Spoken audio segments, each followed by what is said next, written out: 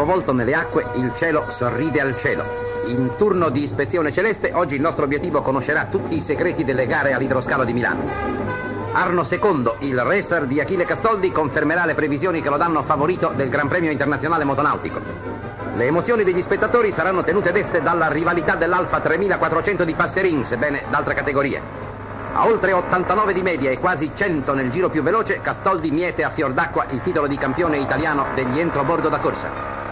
Su fuoribordo da 1000 i fratelli romani nemici, ma nemici momentanei.